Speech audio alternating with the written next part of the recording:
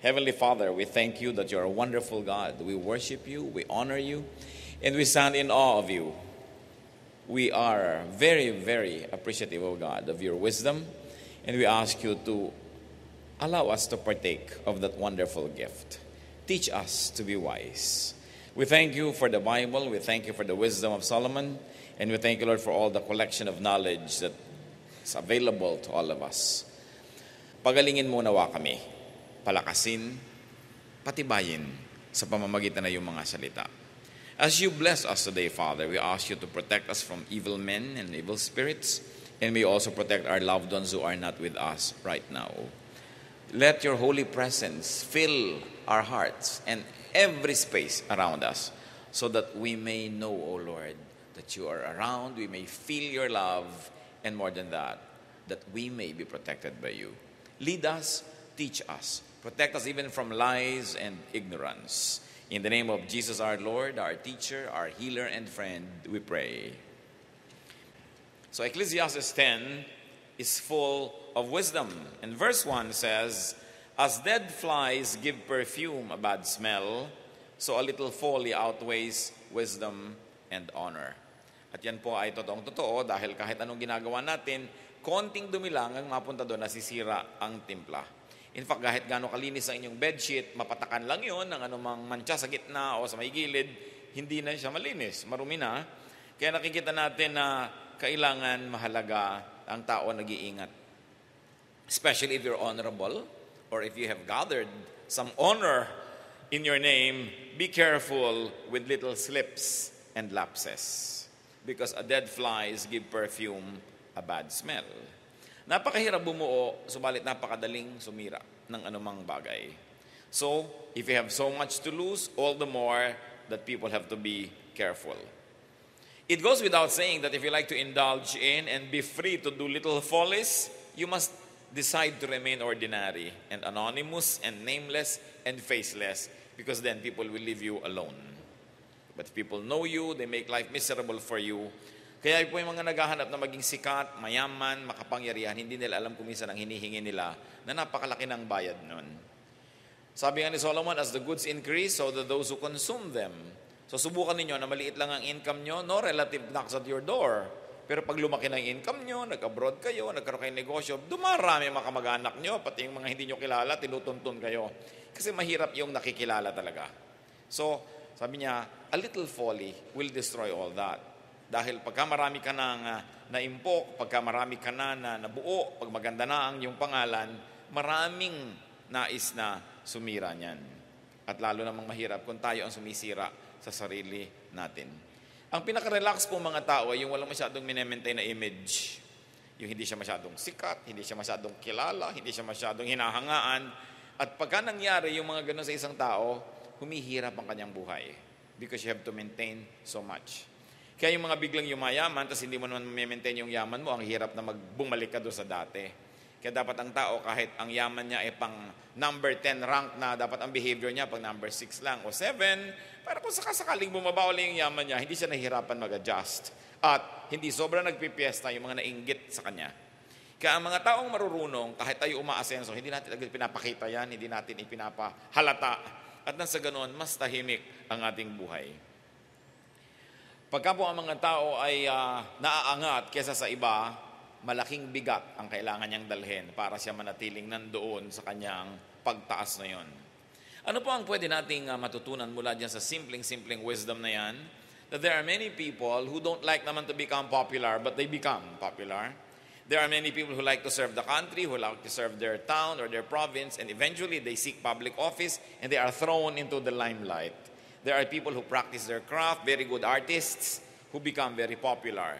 Even in the Christian community, there are pastors and there are teachers and singers and artists who become more known than others. How can we help them? Let us be kind, or let us be kinder and gentler to popular people, to the so called famous, and even sometimes, though it should not be happening, but it happens, even among religious circles, nagkakaroon ng mga star mga star gospel singers, mga star teachers, mga star pastors. And especially if these people really never sought such status, we should be kind to them. That we should allow them to have a life and that we should not magnify even their uh, errors, even their shortcomings. As the Arabs say, even a good horse must be allowed at least one fall. Kaya nakikita niyo po ang nangyayari ko minsan, sa, even sa Christian community, may mga sobrang nagiging mga sikat na mga speakers, may mga television programs sila, meron sila mga kung ano-anong uh, multimedia presentations to the public. Pag nagkamali sila, ang laking iskandalo, ang laking gulo. No? Pero kasi inaasahan ng mga tao, kung mo sumikat ito, kung mo nakilala, hindi na ito magkakamali. Wala namang pinagkaiba yung kilalang kilala sa hindi kilala eh sa kanilang pagkatao, sa kanilang espiritualidad, wala namang pinagkaiba yun. Mas lumalaki nga yung burden ng mga kilala. So, in dealing with people, whether they are religious or whether are just professional people or just artists, consider a person's batting average more than his or her isolated failures. Pagka po nagkakamali halimbawa ang inyong asawa, nagkamali ang inyong anak, o nagkamali ang isang leader, ang isang uh, civic leader, isang religious leader, hindi niyo sa huhusgahan sa isang niyang pagkakamali titingnan nyo yung average. Ano ba ang average grade niya? Ang general performance niya, 85 and above. That's already excellent. That's already very good. I will not expect perfection from my wife, from my husband, from anybody, even from my religious uh, brothers and sisters and leaders. Dahil ang nangyayari, pinahihirap po natin ang buhay ng ating kapwa. At pag sobrang mataas ang expectation natin, konti na lang o wala na lang taong magtatangka na pumapel sa ganong mga role sa buhay dahil mahihirapan sila na lagi nababatikos, laging kinikriticize ang mga tao. So apply this truth to wives and husbands, to children and parent relationship, no? to followers and leader dynamics, even to audience and performers. Na huwag nating hayaan na mas spoil ang isang napakalaking bagay dahil lang sa isang maliit na bagay.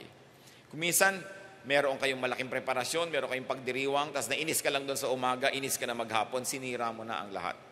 Huwag kayong maniniwala doon sa, ay, nasira ng araw ko. Pag sa umaga pa lang, parang may nasisira na na bahagi ng inyong araw, itigil niyo na yun doon, contain it there, stop it so that the rest will have will be preserved. Kung sabihin, ayan, nasira ng araw ko, and then patutunayan nyo na nga na nasira na, daladala nyo na maghapon. Huwag nating palalalain ang isang bagay na hindi maganda because the work of the people of God is to contain evil, to stop it, to limit it from affecting more and more people. Then verses 2 to 3 of Ecclesiastes 10 The heart of the wise inclines to the right, but the heart of the fool to the left. Even as he walks along the road, the fool lacks sense and shows everyone how stupid he is. Now, before you demonize your left hand no, and uh, worship your right hand, symbol lang yan. At naging symbol sa napakatagal ng panahon, yung kumakaliwa, pumupunta sa kaliwa, na parang nagkakamali. Pero hindi ibig sabihin na yung kaliwang bahagi na inyong katawan ay masama. No? At lahat ng nasa kaliwa ninyo ay masama. Don't take it too far. But what is the verse saying is that people have inclinations. No? Pagka wise ka, ang inclination mo to wise things. Pagka foolish ka, ang inclination mo to foolish things. So people can be known by their inclinations. And people's actions can almost be predicted by their inclinations. Halimbawa, alam mong napakahilig sa alak dito, napakalasenggo nito, tapos hinayaan mo, hindi mo binantayan, hindi naman siguro unsafe to think na ah, baka naglalasing siya. Kasi ang tao may inclination. At sabi nila, history repeats itself. Why? Because people will always be inclined to whatever they're inclined to. At yan ay sinabi ng Ecclesiastes 1.9. What has been will be again, What has been done will be done again. There is nothing new under the sun. Expect things to just keep on repeating. And Jeremiah 13 23 Can the Ethiopian change his skin or the leopard its spots? Neither can you do good who are accustomed to doing evil. How do we operationalize these teachings about inclinations? Hindi para mag-judge tayo na ito inclined to do that, therefore he will do that. Hindi po yon ang aking ipinopropose na gamit nitong verses na ito. Kundi ano? If you cannot love a person's past, then do not get committed to that person's future. Kung hindi nyo kayang tanggapin ang mga nangyari na ang nakaraan ng isang tao, eh huwag na lang kayo magbalak na makasama ng taong ito sa mga darating pang panahon. Kasi kung umulit yon, anong mangyayari?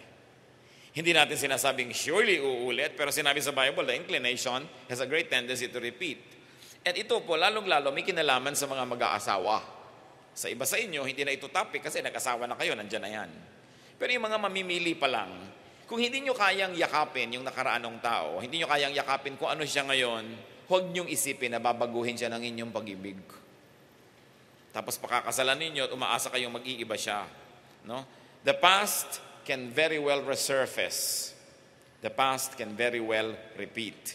And love is acceptance, not reformation. Love is not a reformatory institution. Sabi mo, ayoko ng ugali niya na yun, ako ulit ng ugali niya yun. Pero oras na umibig siya sa akin, babaguhin ko siya. Maramang na kayo'y mabigo. So dapat yung tao, bago mo palang piliin na mapangasawa, o kaya bago kayo magpasya na makasama sa negosyo, makasosyo, o bago kayo magpasya na makasama nyo sa inyong uh, binibiling duplex, o kaya ay maging roommate, o kaya ay makasama sa kung ano man na partnership, dapat natanggap nyo na yung at least 85% to 90% ng kung siya. Para wala na kayo masyadong maraming struggle pagka dumarating yung mga ayaw ninyo sa buhay. And it is easy to recognize a fool by the way he lives his daily life. So if you don't like the way the person lives his or her daily life, it's very probable that you will not love the way he lives his week, his month, his year, his entire life. So titingnan nyo lang kung paano siya nabubuhay sa pang-araw-araw. At kung yan ay matatanggap nyo, well and good, sigurado hindi na kayo magkakaroon ng malaking sorpresa sa buhay. At natanggap nyo na yon, therefore handa na kayo sa ganong bagay. It is important that we accept one another. At isa pa pong pag-operationalize ng verse na ito, kung kayo magulang, kayo ay kuya, kayo ay may otoridad sa mga bata, may kanya-kanya talagang likas ang tao. May kani-kanyang inclination, may kani-kanya na hilig sa buhay. Marapat tayo mga nagmamahal, ang gawin natin, suportahan natin sila na yung hilig nila ay mapuntahan nila, magawa nila sa pinakamakadiyos na paraan at hindi pilitin natin sila na mag-iba ng gagawin dahil tayo yung may kapangyarihan, tayo yung may pera, tayo ang masusunod. May kasabihan ng matatanda, kung saan nakahilig, ay doon bumuwal. Kung saan daw nakahapay ang puno, ay doon siya bumuwal. Alam nga namang nakaslant dito yung puno, ay expectin mo dito siya matumba. Doon siya pupunta. Huwag nating laging ibahin ng ibahin ang ating kapwa. Tayo'y nilikha ng Diyos, meron siyang purpose, meron tayong definite giftings, meron tayong pagkatao na unique to each one of us, kaya dapat hindi tayo over-domineering and we should not dominate one another. Ang Diyos na may karapatan at kapangyarihan at kakayahang idomina tayo, hindi niya tayo dinodomina eh. Binibigyan niya tayo ng free will. So bakit kailangan magkaroon ng mga dominanting tiya, dominanting kuya, dominanting ate, dominanting nanay, na lahat na lang umaandar pag kumukumpas siya, lahat na lang ng kailangan mangyari siya, magpapasya kung kailan mangyayari yon. Mga kapatid, kung kayo ito, mag-isip-isip tayo, let us not make the people uh, around us miserable. Igalang natin sila at bigyan natin sila ng puwang kung paano sila lalago, paano sila magiging tao in the way that they were designed and made by God, in the way that they like, and in the way that will give them fulfillment. Not in the way that will please our standards. Kung anong gusto nyong gawin, gawin nyo sa buhay ninyo. Of course, we may suggest to others, we can give an inspiration, we can give some guidance, but we should never live people's lives for them. And we must never ask them to live their lives for us or our lives should never be lived by them. Kailangan binibigyan natin ng laya. At ito po napaka-importante lalo sa ating uh, society na masyado tayong uh, traditional, talaga yung authority ng mga magulang, gano'n na lang, which is nice because most of the time parents are correct, but definitely not all the time. Kaya binibigyan natin ng puwang ang ganyang mga bagay. Alam nyo, nagtataka ang maraming tao kung bakit ang Panginoong Jesus, nung may tinawag siya na isang gusto niya maging alagad, sabi niya, follow me. Sabi ng tao, ililibing ko pa po ang tatay ko dahil namatay. At sabi ng Panginoong Jesus, let the dead bury their own dead. Very, very few people appreciate what it can really mean. That the Lord Jesus and His ministry was dedicated to setting people free. And you know, during the time of the Lord Jesus, before that, and even after that, the fathers or the mothers, the family system, the elders really lorded it over everybody else in the family. At isa sa mga very strong uh, suppressors, isa sa mga talagang oppressors, no? At mga dominant forces in the universe was your elder. And but the Lord was saying, let the dead bury their dead. It is a very, very deep way of saying, be free from being needlessly controlled by your father. And now that he's dead, controlled ka pa rin niya. No? Binibigyan niya ng laya ang tao na gawin ang dapat niyang gawin kahit pa nga ang ibig sabihin na hindi niya maililibing ang tatay niya. Siyempre, ang mga theologians, maraming reading dyan. Ano? Pero tingnan ninyo na the Lord was cutting vertical powers that oppressed people. Yung mga vertical powers na yan, marami. Yung economic power, the rich lording it over the poor. Kaya ang tinuturo ni Lord, sabi ng isa, Lord, gusto ko pong sumama sa inyo. Ano bang dapat kong gawin? Sabi niya, well, sell your wealth and give them to the poor. Ang concern ba ni Lord ay para may donation? I don't think so. His concern was, you like to be with us, be one like us. Kasi ang yaman-yaman mo, most of the people here are so poor, so magiging amo ka lang dito. So you really want to be with us? Be like us. Kinakat niya yung power ng mga rich over the poor. And one of the things that the Lord was teaching the poor was, don't be impressed by wealth and don't chase it. At kung hindi kayo impressed sa wealth, hindi nyo hinahabol, hindi kayo maapi na mayayaman. No? Kaya ka lang naman naapi kasi susunod-sunod ka, bubuntot-buntot ka, gusto mong mawin yung favor niya. Of course, another power that was oppressing the people was too much control from the temple. Sobrang naging powerful ang religious elite. Kaya ang sabi ni Lord, nung mga may mga nagtatanong, how shall we pray? Sabi niya, when you pray, go to your room, close the door, and pray to your Father in secret. Hindi niya sabing, go to the temple. Inilalayo niya ng konti yung mga tao dahil sobrang nakokontrol naman ng religious system. Isa pang nang o-oppress were men oppressing women. Kaya nung si Martha, sabi niya, o yung si Mary, hindi mo lang magpunta sa kusina. Hindi siya magtrabaho ng trabaho ng babae. Bakit siya nakikiupo sa mga kalalakihan? Sabi ni Lord, it will not be taken from her. Let her sit here. So, he was changing the way women were being treated and perceived. Uh, isa pang aping-apay, yung mga bata, hindi pinapalapit yan, hindi sila kasali sa mga activities, hindi katulad ngayon, yung mga bata bida sa ating mga social events and family events. Kaya yung mga bata, nung inilalapit kay Jesus, nagalit ang mga disciples eh, because it was against tradition, because children were nobodies. But what did Jesus do? Sabi niya, huwag niyong pigilan ng mga bata. To such as this belong the kingdom of heaven. Tapos kinalong pa niya at binless niya yung mga bata. Pinawalan din niya yung bata from being nobodies. So, kinakat niya yung mga yan. At isa sa mga kinat niya, yung power sobra ng mga elders ng family sa pagkontrol sa kanilang mga anak-anak. Kaya sabi niya, mother will go against daughter, daughter against mother. The Lord said that. Ha? Hindi para guluhin ang mundo, kundi para ayusin ang mundo. Para palayain ang mga taong sobrang na-oppress ng gender, ng economic system, ng uh, mga family hierarchy, ng pati ng government hierarchy, pati ng church hierarchy, pinapalaya niya kasi yung konting-konting tao na nasa ibabaw ng buong social system, sila lang ang nag-enjoy sa buhay. Sila lang ang nasusunod. Yung gusto lang nila ang nakakapangyari.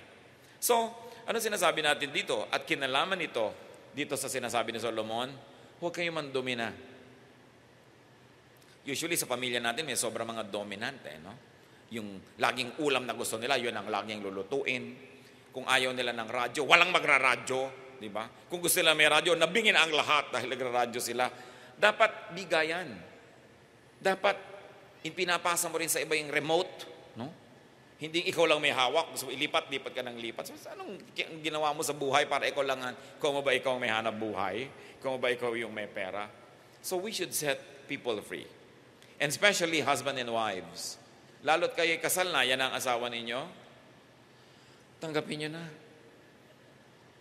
Para madali-dali ang buhay nyo. No? Huwag nyo nang laging ambisyonin baguhin niya dahil pinakasalan nyo, ganyan na yan eh. No? So, tanggapin nyo na. At tayo naman, kung gusto nating paligayahin yung mga nagmamahal sa atin, let's try to accommodate them. Tayo yung mag-adjust, tayo yung magbago. Pero hindi yung iba ang dinodominate mo para magbago sila. Iba naman pag nagvo-volunteer siya magbago para lumigaya ka eh. No? So dapat yung tao naman na nagvo-volunteer, pero wala naman dapat pumipilit sa kanya. Tatahimik ang mundo pagka sinunod natin ang mga karunungan na ito ni Solomon. Ecclesiastes 10.4 If a ruler's anger rises against you, do not leave your post. Calmness can lay great errors to rest. Pag daw nagalit sa iyo ang nakakataas, huwag ka agad mag-resign, huwag ka agad tumakas, huwag ka agad umiwas. Bakit? Yung mga tao po na matataas ang posisyon, liban na lang napakalaking pakikipagsapalaran kaya lang sila nandun, usually magagaling yan. Magaling ka para ka maging leader. At kung di ka magaling, mawawala ka rin dyan. So kung leader ka ng matagal, magaling ka nga. So it takes galing to become a leader and takes a lot of galing to remain one for a considerable length of time. So if you have a leader, if there's somebody powerful and has been there for quite a time, asahan nyo magaling yon. So kung nagalit sa inyo, nagkamali kayo, huwag kayo agad matakot. Sabi nito si Solomon, when facing a powerful person's anger, do not distance yourself needlessly. Do not abandon your duty. Do not resign immediately. Why? Because calmness can lay great errors to rest. Yung mahuhusay na tao, bigyan mo lang yan ng konting panahon, makapag-isip-isip, huwag mong i-provoke na lalong magalit, huwag mong pilitin na gumawa ng mga drastic measures, makakapag-isip din yan, at makikita rin niya ang iyong posisyon, mauunawaan ka rin yan, at kung sakaling meron ka rin talagang mali, mapapatawad ka rin yan, lalo't pag tinignan niya yung batting average. Karasang, kadalasan kasi, karamihan naman sa ating mga kapwa-tao, hindi nakakaranas na magkaroon talaga ng mapakataas na posisyon, so hindi nila alam kung paano umaandar ang utak ng isang taong mataas ang posisyon. Na as much as possible, ayaw naman niya na masacrifice ang maraming tao, lalo't mahusay ka. So sabi ni Solomon, agad-agad dalalayo. Hayaan mo siya mag-isip at huwag mo siyang piliting magalit pa lalo. Rulers are usually wise, so all they need is time to understand. So do not be quick with your actions. At kung kayo naman yung ruler, ang paalala dyan, rulers, do not be impulsive. Restrain your power.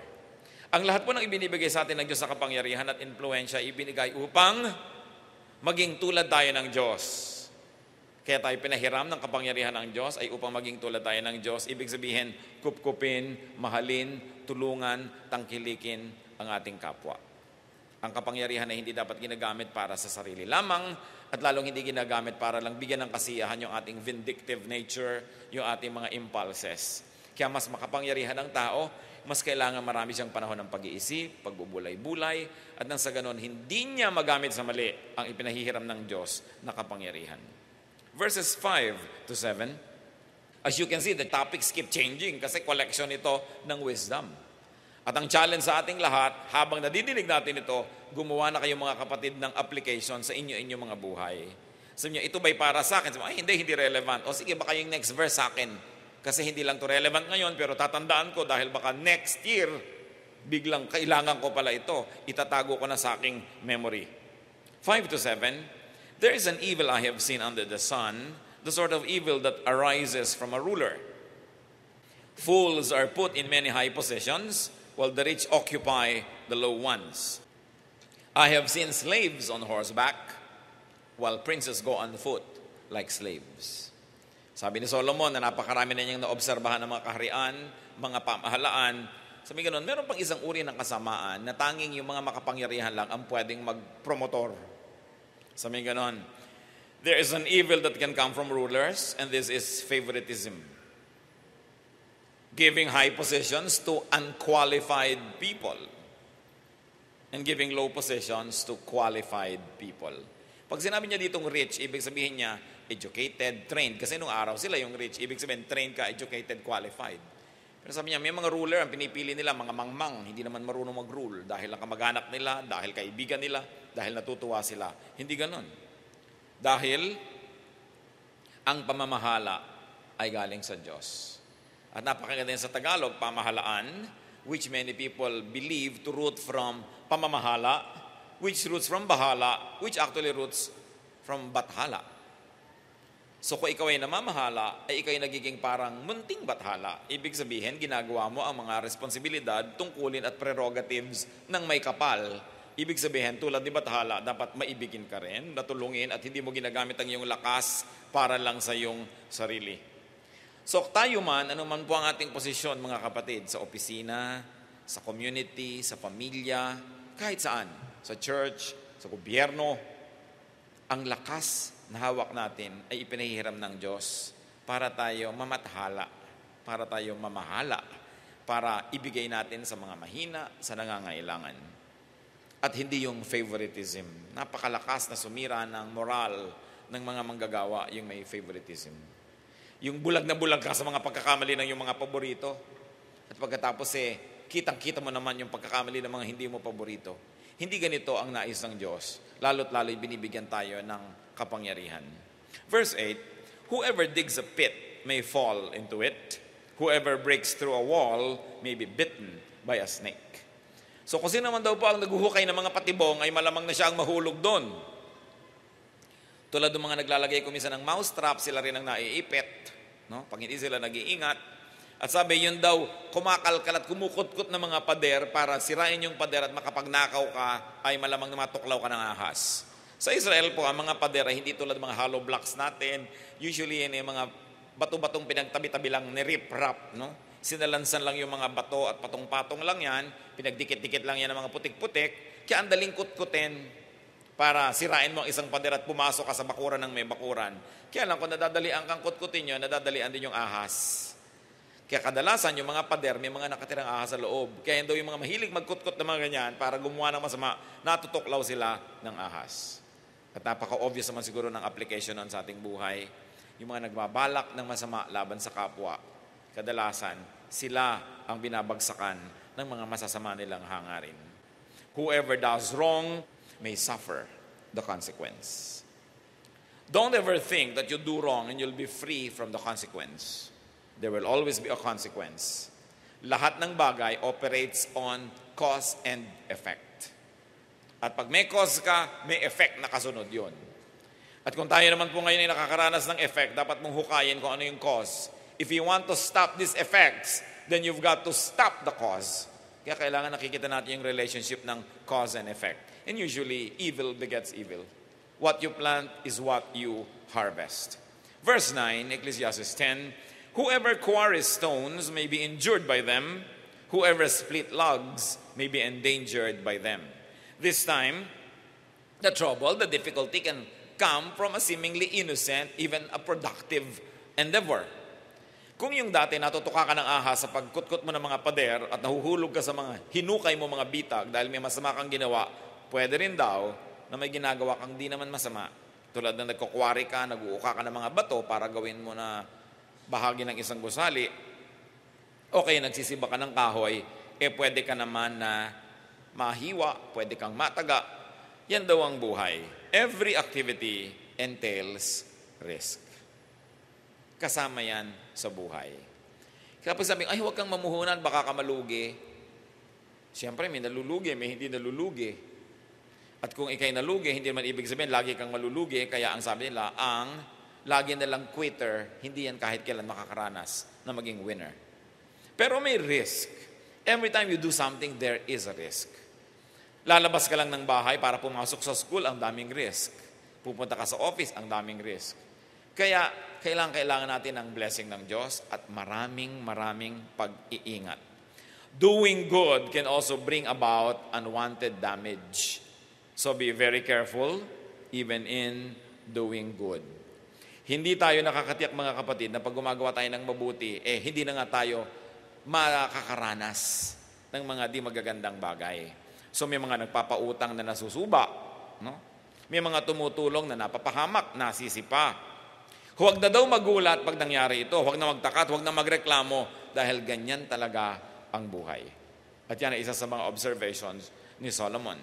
Verse 10, If the axe is dull and its edge unsharpened, more strength is needed, but skill will bring success. Anong metaphor ang pinapakita sa atin? Isang tao nagsisibak ng kahoy na gumagamit ng palakol. Sabi nga nun, pagka ang palakol mo ay mapurol, at hindi matalas ang kanyang talim, mas kailangan, mas malakas ang hampas mo, mas malakas ang pagtama mo sa kahoy para ito tumalab. Pero kung skillful ka, ay pwede mong mapagtakpan ang kakulangan ng iyong kagamitan. For obvious reasons, sabi nga nun, if you use a dull axe, expect to work harder. Anong application niya sa buhay natin? Kung kayo mamimili ng empleyado, mamimili ng kasama sa buhay, mamimili ng kapartner, at ang napili nyo, alam niya, alam nyo namang mapurol, eh, mag-expect na kayo that you have to work harder. Halimbawa, kadalagan yung tao, umiibig kay sa isang lalaking, umupo-upo lang, eh, alam mong pagkatamad-tamad at nakahuyaya lang, eh, nang nakahalos tumihaya na lang ng tumihaya, nakaupo lang eh. Hindi mo alam kung nakahiga o nakaupo. Yan daw ang mga, mga palatandaan ng mga batugan. Siguro, once in a while may exemption. Pero ang lola ko, pag may naliligaw sa mga kapatid ko o mga pinsan ko, na ganun umupo, nako anak, lumayo ka sa lalaking yan. Yan agad na sasabihin. Sa pag-upo lang yung nakikilala mo ang tao. Alam niyo, mga matatanda sa experience, marunong na yan na tumingin. Well, kung in love ka pa rin, expect to work harder. No? Dahil sabi, eh, dalyang napili mo eh. So tayo man mga kapatid, kung meron kayong, nagtataka ko, may mga kusina, apat, lima ng ganyan, bago maputol yung talong, hindi man lang ihasa yung mga kutsilyo nila. No? May mga gripong halos wala nang lumalabas, hindi man lang nila tanggalin yung mga bara kontento na silang mahirapan ng mahirapan ng mahirapan. Samantalang pwede naman nilang uh, ayusin ang kanilang environment. At may mga nagkukulambo na ang baba-baba ng tali. Ba't hindi taas-taasan para hindi nakadikit sa iyong pagmumuka? May mga kawali na lagi ka nalang napapaso, hindi lagyan ng tangkay na kahoy. Ang daming bahay miserable, mga timbang walang handle. Ang mura-mura naman na bumili ng kapalit noon, kakakawak mo na lang, nakuba ka na. So maraming buhay miserable, just because people don't improve their environment. May mga bahay, iisa ang tabo. Tabo sa lababo, tabo sa banyo, tabo sa paglalaba. O yung tabo, nag-aaway-away na dahil sa tabo na ito. Ang mura-mura, hindi damihan. Things like that, no? Ang dami-daming mura naman pwede niyong damihan. But it's a mindset eh. Because there are people who don't even think of improving their lives, though they can very well afford to do so. Mga bahay na dadalawa ang doormat, laging basa, wala kang pamalit, pag kami natapon, paano ba ang mura-mura ng doormat? No, kung meron ka labing lima, dalawampung nakastock dyan, feeling rich ka kahit na ang mura-mura nun. So sabi niyo, if the axe is dull and its edge unsharpened, more strength is needed. So, ganon din ang pagpili ng karir. Pag hindi nyo gift, then you are dull. Then you have to exert more effort. So if you want to get the most out of life, operate in your area of strength. But if you insist on operating in your area of weakness, just expect to work harder. At sa mga pumipili po ng mga workers, mga empleyado, mga tauhan, you've got to pre-screen your workers well, your partners, even your spouses. Because if they are dull, you have to work harder.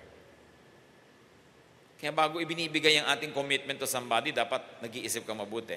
O kaya, Just accept the consequence. Be ready for the consequence kasi pinili mo yan eh. But very importantly, brothers and sisters, sharpen your access. Improve your skills. Improve your systems. Improve your tools. Marami pa nga kahit naman sa mga churches, sa mga opisina, sa mga kung saan-saan, yung mic na laging yuko-yuko, susunod ka dahil yuko-yuko yung mic, susunod ka, hindi palitan yun, ano? I mean, inab- kung noon lang nangyari, di bali, pero dalawa, tatlo linggo, paulit-ulit, hindi man lang pinapalitan, yun na lang nang yun, eh may kasalanan na ang tao doon. Kailangan tinitingnan mo, ah, pwede yung improve dito sa buhay na ito. Marami mga bahay, hindi wala man lang pako sa dingding, wala mga sabitan sa likod ng mga pinto ng banyo, hindi mo malaman kung saan mo isasabit ang tuwalya, saan mo isasabit ang mga damit. Ang miserable, konting pako lang o konting mga screw will solve the problem. Meron pa ako nakikita ng namamalansya, nakasaksak yung ilaw doon sa ilaw, nagagalaw-galaw. Lahat ng il- gumagalaw, lahat ng anino. Bakit nahilo na lahat ng tao? Ba't hindi paghiwalayan ng outlet ng plancha at ng ilaw na ito? No? May mga ilaw na andidilim, hindi liwaliwanagan ng konti. May mga baitang ng hakbang na ubod ng tataas. No? Nagka sakang-sakang ka na sa pagakyat. Why? Have these needless sufferings in your life. No? Simpleng-simple lang yan. Improve your life. Why? You live only once on this earth. Kahit kapag may eternal life, you live only once on this earth. So you've got to maximize all the benefits, all the enjoyment, and all the prerogatives that God has given us. Ecclesiastes 10 11. If a snake bites before it is charmed, there is no profit for the charmer. Ang pinag-uusapan ng mga ahas na pinaaamo at para, sabi, kung hindi mo na paamo, bago tumuklaw, bali wala ang pagpapaamo mo dahil natuklaw ka na. So mahalaga yung kumikilos agad. What is the lesson, brothers and sisters? Act in a timely manner. Dapat kikilos tayo before the problem happens. Kung kayo'y makakalimutin, at usually makakalimutin naman, paulit-ulit sila lang lagi ang may nalilimutan, Don't rely on your memory. Sa inyo, ay dadaling ko yung bag na yan, pag alis ko, huwag nyo nang intayin yung pag alis nyo, ilagay nyo na sa pinto na matatapakan nyo talaga, paglabas nyo talaga, para huwag nyong malimutan. Ipupwesto nyo where you will not forget it, kung kayo forgetful. In other words, gagawa ka ng paraan naman para hindi pa ulit-ulit na lang yung problema mo, pa ulit-ulit na lang yung, yung mga mali. No? Kailangan mauna ka sa problema. At alam nyo, ang mga napakahalaga na mauna tayo kumisan, yung sa salita. Kasi kumisan merong dapat sinabi ka na agad, hindi mo pa sinabi. No, may nangyari tuloy. Ngayon sinasabi mo, hindi ka na pinaniniwalaan kasi after the event na eh. Yung pagsasabi mo ng isang bagay. Sinabi mo sa asawa mo na halimbawa, binigyan, binigay ko kasi ang mga savings natin sa nanay ko, no? Kailangan sabihin mo yun bago niya malaman.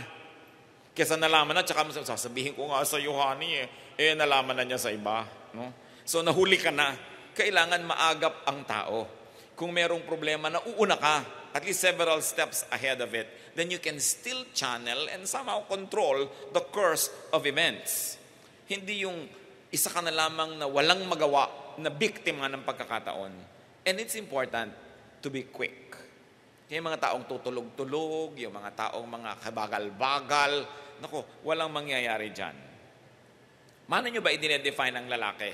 No, mga mga sisters, how do you define a guy? Kung sabi mo, lalaking lalaki to, itong gusto ko mapangasawa. Yung bang umaalon-alon na mga muscle? Aba, ikaw, ikaw magtatrabaho para pakainin na isang dosenang nilagang itlog araw-araw yan, hayaan mo nang walang muscle. Diba? Yung malaki ba ang boses, yung mga balbas-balbas na ganyan, no? Na pinantal-pantal ka na pag napadikit siya sa'yo. Una, ang lalaki dapat may desisyon. Yan ang isang kahulugan ng lalaki. May desisyon agad yan. Pag may nangyayari, alam niya agad ang gagawin niya. May desisyon siya. Kahit mukha siyang butike, lalaki yan. No? Pero yung laki-laki ng katawan, tapos, Mami, anong gagawin natin, Mami? Alam mo, bonjing, halika dito. No? Baliwala. No? So may desisyon. Napakahalaga nun. Responsable. Yan, ibig sabihin ng lalaki, responsable. May mga lalaki na ni isang pako, walang nailulubog sa dingding nila, wala nang pagsabitan yung asawa nila ng bra pag hinubad. Wala man lang sabitan yung bahay nila, tumutulo na yung bubong, ang hagdan, giba-giba, ang mga pinto nila. Wala man lang skill. No? Kailangan responsible, skilled, may desisyon. Yun. When you have that, kahit anong itsura ng mukha, gugwapo na rin yan. Pero kung gwapo nga yung mukha, tapos wala naman silbi. No? Ganon din yung babae, ang ganda-ganda, tapos hindi marunong manahit, tanggal-tanggal lang yung mga ganyan mo, wala man lang alam kundi magpakyut at magsuklay. Kaya mga tao hindi sumasaya kung minsan sa marriage sila, ang mga hinahanap nila pang ibabaw.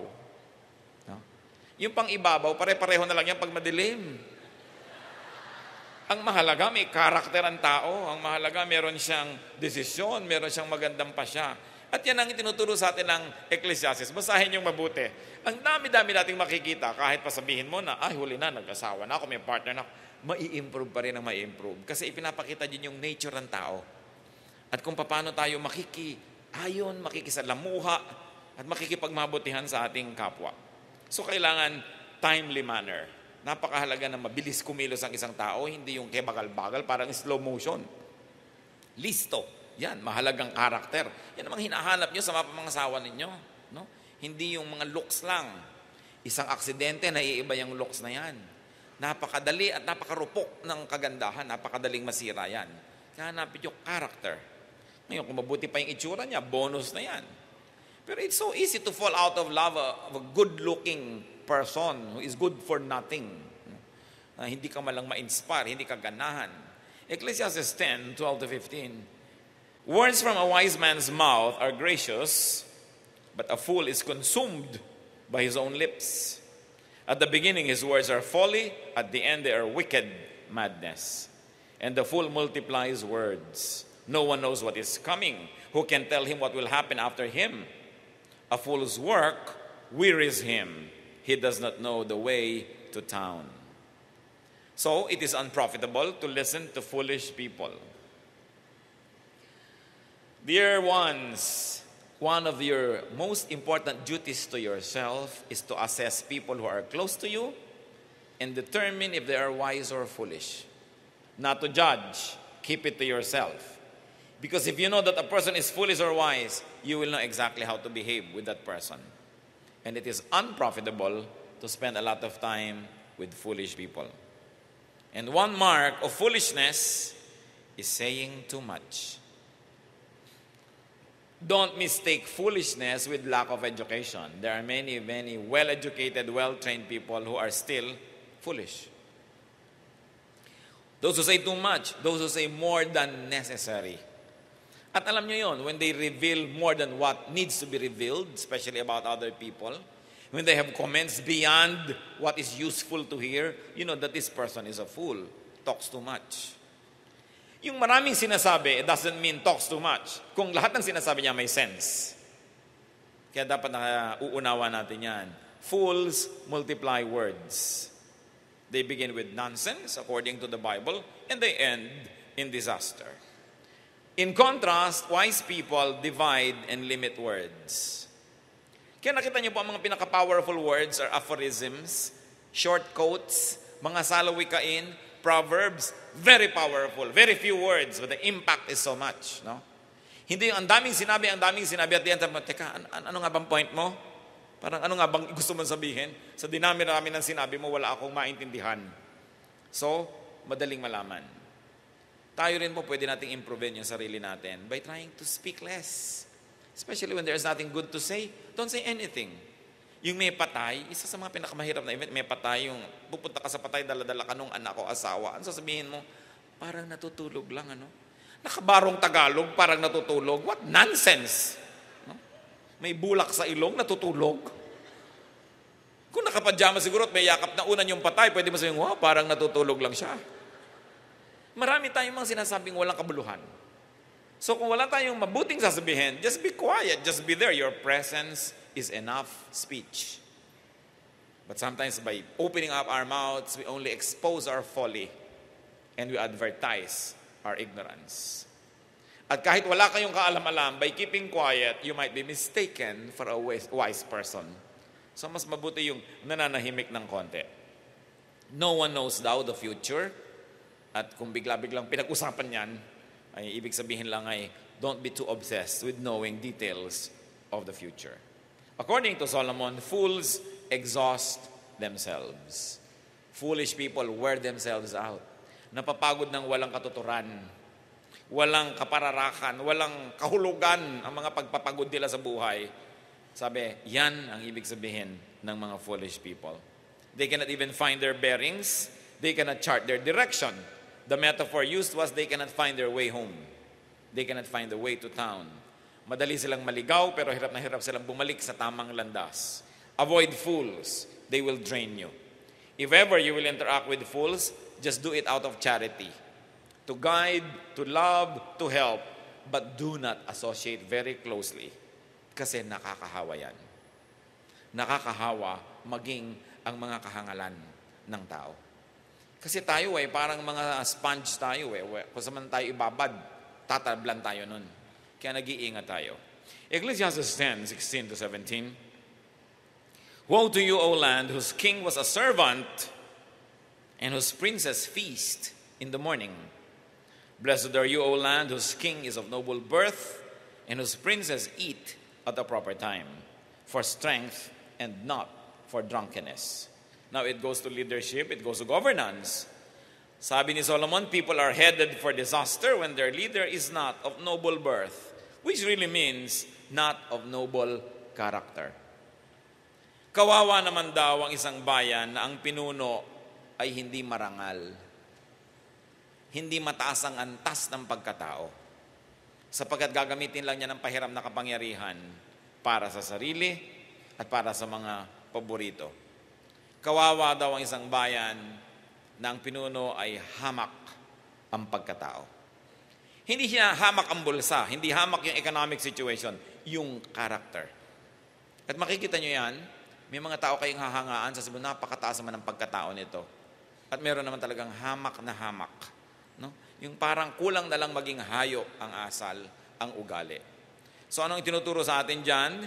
People are blessed if their leader is of noble character and does not indulge in too much pleasure. How do you operationalize that, brothers and sisters? Choose your leader well. Especially in a democracy, you have to choose your leader well. Kasi kawawa ka pagkahamak ang ugali ng naging leader mo. No? Choose who you follow. Because who you follow can affect your life in great ways.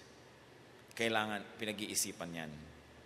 At kung tayo naman ay walang mobility of character, wala tayong noble purpose, huwag na tayong mag-asam ng high position, huwag na tayong mag-asam ng, especially, ng political power or corporate power, kasi magiging parusa lang tayo sa mga taong ating pinamumunuan.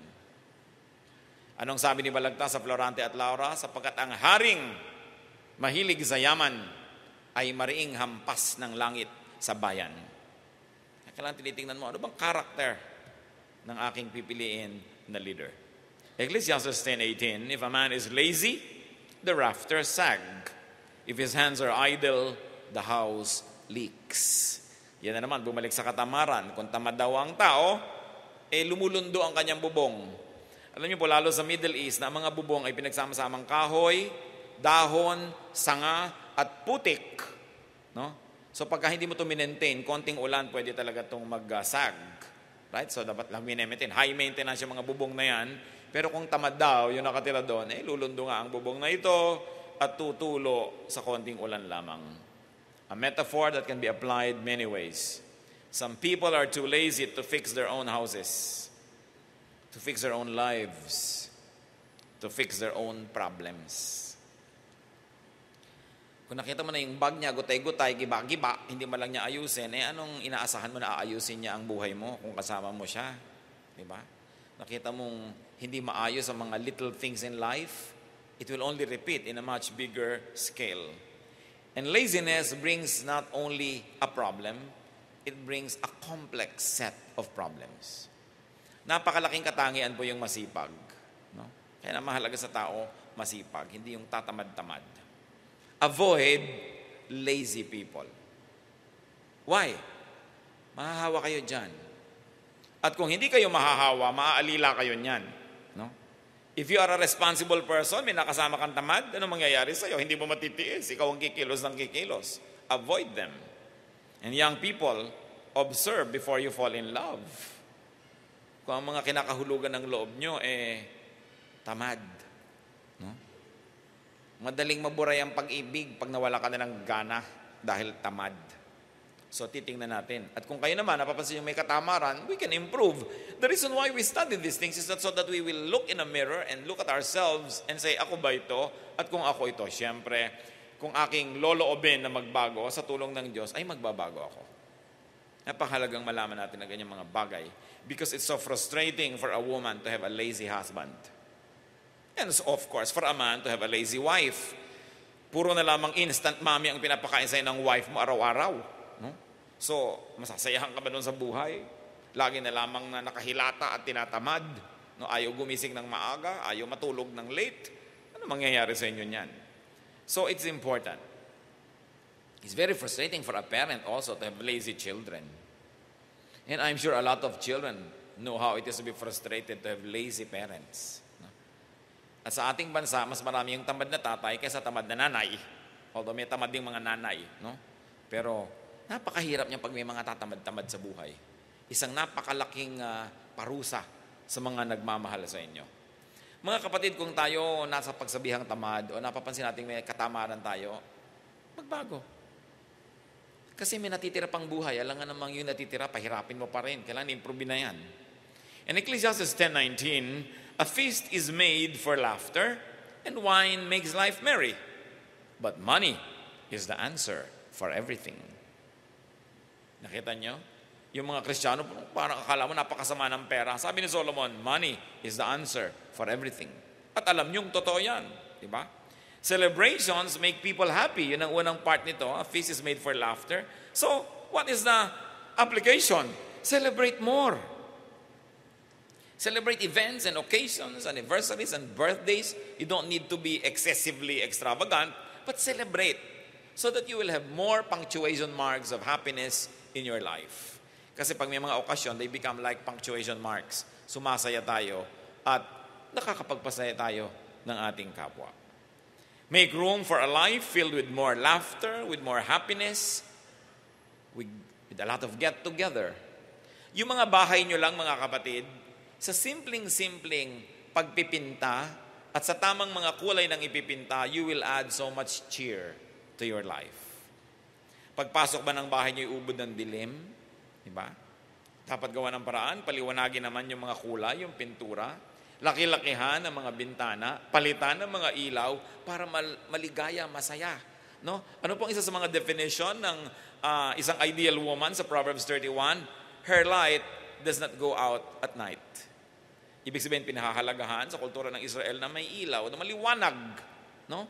So, let light come into your house, let your house be cheerful, at kayo mga sinasabi ng mga mga modern art ng mga monochromatic, monochromatic, puro brown lang, puro ganito lang. Hmm, lagyan nyo ng mga yellow, mga pink, mga blue, para masaya. Hayaan nyo ng baduy. Yung iba naman kasi, pilit na pilit na, na may mga artistic pretenses, no? Pero hindi naman yun ang totoong taste nila. So kung ano nagpapaligaya sa inyo, sabitan nyo mga kalendaryo, mga diploma, sumasaya ba kayo? No? Pasayahin nyo yung inyong bahay. Because space defines behavior. At yan ang dapat inaaral ng, ayan, pinag-aaralan niya ng mga architects, pinag-aaralan niya ng mga interior designers, di ba? Kung ayaw nyo halimbawang tumawid ang mga tao dito, maglagay lang ng kayong tatlong tabi-tabing paso. Hmm. Liliko na sila. Na-control nyo ang behavior sa pamagitan ng tatlong paso. Di ba? Magkalagay ng isang mahabang bangko dyan, walang dadaan, iikot sila. Yun lang. You control behavior.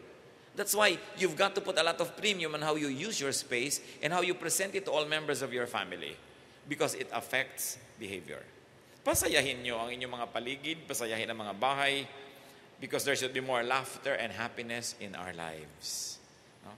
At sabi, money solves everything. Of course, everything as a word is an exaggeration, but there's a lot of truth in it. Money talks. And you know, when it does, people listen.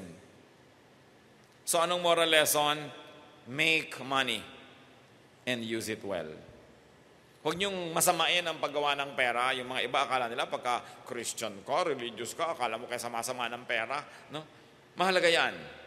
At kung ayaw niyong gastahin sa inyong sarili, gastahin niyo para sa iba. Pero ang maganda, may ginagasta kayo.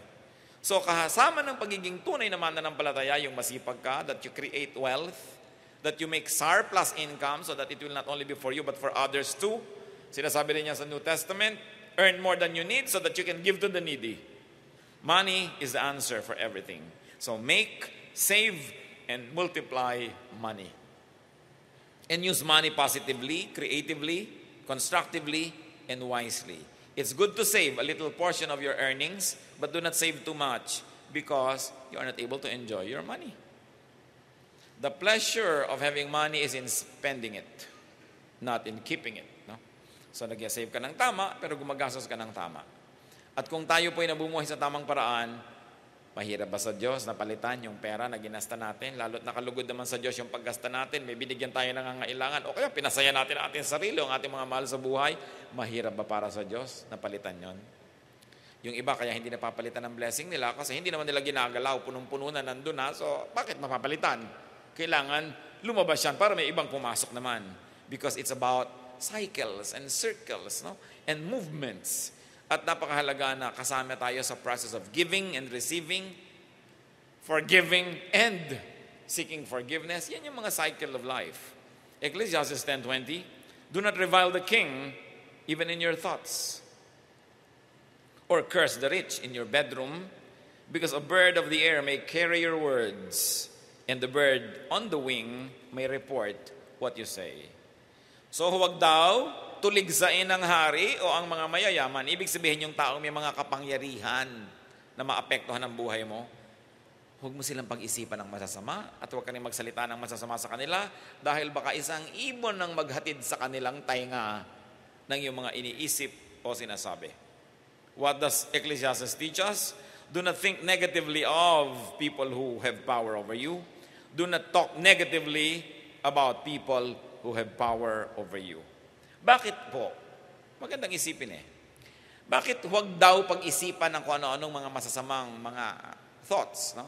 Ang mga may kapangyarihan. Kasi, una, may kapangyarihan yon, wala ka naman magagawa para takasan yon. Kung employer mo yon, makikipagkita ka rin sa kanya lagi. Kung manager mo yon o superior mo, lagi ka rin magre-report sa kanya, ano ngayon ang itutulong sa iyo na sa loob mo, sa iyong kaloob-looban, na negative ang iniisip mo sa kanya, mahahati ang iyong loob. On the surface, nag-good morning ka, pero sa iyong kalooban, eh, gusto mo siyang itulak. Ikaw, kapatid, ang magkakasakit, hindi siya. Kasi hati ang loob mo. So sabi kong nandyan na yung tao na yan, talagang kailangan kang makituko sa kanya at may kapangyarihan siya, maano bang huwag mo nalang pag-isipan ng masama para yung kalooban mo ay mapanatag, hanapin mo yung mabuti sa kanya para may pleasure ka in obeying this person, hindi yung na-pressure ka lang, pero susundin mo rin naman, pero masama ang loob mo, sabat hindi mo nalang luwagan ang loob mo para sa iyong ikabubuti. At sabi, huwag kang daldal ng daldal ng mga masasamang salita tungkol sa mga taong may authority over you. Makakarating at makakarating yan. Especially do not say these things in a vegetable garden because potatoes have eyes and corns have ears. So maikukwento ka, malalaman yan, pipick upin ng mga mahangin at dadalhin doon sa tao. Wala pong naghihintay na mabuti sa isang taong katsang ng katsang laban sa mga taong may kapangyarihan naman sa kanya. Kasi mamaya siya ang magsasuffer ng kanyang mga kadaldalan. So be wise. And if you could psych yourself up into liking the people that you cannot get off your world anyway, then you're in for a happier life. Remember, you change your situation to be happy, but that situation you cannot change, you change your attitude so that you can be happy. At the end of the day, if you're happy, then you're the winner. Kaya kailangan, mahalin natin yung mga nandyan naman at hindi pwedeng tanggalin sa buhay. Kesa reklamo ka ng reklamo. Your negative thoughts and talk will only divide your heart and cause needless anguish. So yan ang mga lesson nitong chapter 10 ng Ecclesiastes. Kung ito'y babasahin natin 10 years from now, 5 years from now, 1 year from now, may bago na naman tayo makikita. Why? Though the Word of God is unchanging, our perspective keeps on changing. Because we mature, because we are more able to plumb the depths of God's words, then we will find more and more.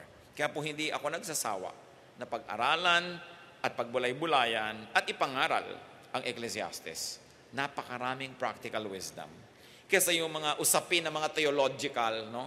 ng mga nag-aaway-away ang mga tao kung anong gagamitin na bautismo, kung anong kakainin sa Lord's Supper, na wala namang mabuting idinudulot sa tao, kundi mag-away-away lang Napakaganda yung hinahanap mo. Ano bang practical dito? Ano bang makaka-improve ng buhay ko? Ano bang makakapagpaganda ng pagkatao ko? Paano ko ba aayusin ang buhay ko? Hindi nakikipagpaligsahan ako sa iba ng mga theological issues. Theology is a very proud word because it's a study of God. How can you study God and really know? No? How can a finite mind totally comprehend an infinity? No? So may mga bagay na hindi talaga tayo mauunawa. Pero may mga bagay na kayang-kaya nating unawain. Like, how to tell a lazy person from that who is la- not lazy, how to improve one's character, how to improve family life. Aming Diyos, nagpapasalamat kami dahil marami kayong mga practical wisdom na maaaring maging kapakipakinabang sa amin. At itong dalangin namin, Panginoon, tuwing binubuksan namin ang Biblia, tuwing kami umaawit, sumasamba, tuwing kami nakikinig ng mga pangaral, na meron kaming mapala na agad-agad magagamit namin sa aming buhay. Na agad-agad ay magiging kasangkapan mo para ipadama mo sa amin na yung pag-ibig at ang buhay namin mas umayos, mas gumanda, mas maging payapa. Turuan mo kami na humanap, Lord, ng mga practical application sa mga narinig namin ngayon. If we made any uh, application, Lord, that is not in conformity with your truth, convict us. Gusto lang naming hanapin ang inyong katotohanan, Panginoon, at nawa ito'y patuloy niyong ipagkaloob sa amin. Magbulay-bulay tayo mga kapatid tulad ng ating nakagawian. Bali wala na pakinggan ng mga salita ng Diyos kung hindi naman natin i-apply. So magbulay-bulay tayo, hingin natin sa Espiritu ng Diyos. Ano mga mga practical applications sa buhay ko nitong Ecclesiastes 10? Maybe not all of it, but some parts of it that are relevant to you right now. At ano mga dapat nating tandaan para pag dumating ang panahong kailangan natin yung karunungan na yon, ay huhugutin na lang natin sa ating alaala dahil tinandaan na natin. Amang Diyos, mausap po kayo, Espiritu ng Diyos, makipagnig kayo sa amin at turuan nyo kaming humanap ng kahulugan ng mga katuruang ito.